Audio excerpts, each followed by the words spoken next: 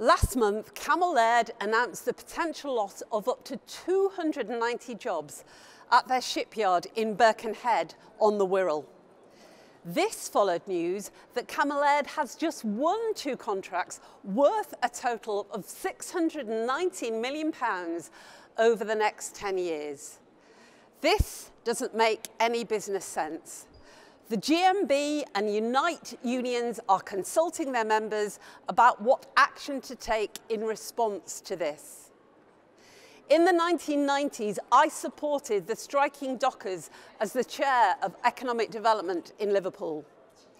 In 2014, I raised the issue in the European Parliament of the 37 striking Cammell Laird workers who had been unjustly imprisoned.